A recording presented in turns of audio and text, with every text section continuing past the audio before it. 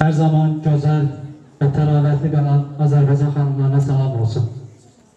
İlk öncə ə, məndən öncəki xanımların problemlərini eşitdim. Həqiqətən də bizim üçün çox çətindir bunları eşitmək. Bir kişi kimi həqiqətən də çətinlik çəkirik bunu ifadə etməyə. Bizim ölkə bu cür olmamalıdır. Biz e, əbəs yerə deməyə bilərik, qadın böyük qüvvədir. Biz bunu tarixin bütün dövrlərində şahid olduq və bu gün də şahid oluruq. 1918-ci ildə Azərbaycan şərtdə ilk dəfə qadına seçki və seçilmə hüququ verən ölkə oldu. 1988-ci ildə Azərbaycan müstəqillik uğrunda mübarizəyə təkcə kişilər deyil, eyni zamanda onlarla çiyin-çiyinə mübarizə aparan qadınlarımızı da gördük.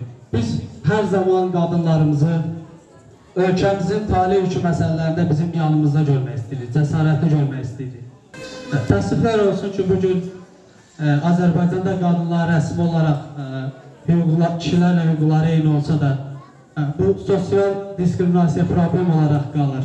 Əsasən də kənd ərazilərində ə, qadınlar öz hüquqlarından ə, yetərincə istifadə edə bilmir.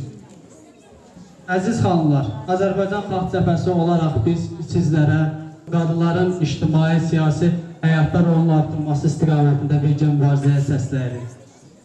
Çox vaxt bizə sual verirlər ki, niyə məhz Azərbaycan Xalq Cəbhəsi Partiyası, niyə razı dururlar? Azərbaycan Xalq Cəbhəsi Partiyası hər zaman haqqın yanında olub, mübarizənin önündə olub, bu hakimiyyətlə mübarizə aparan, gücünü xalqdan alan siyasi bir partiyadır.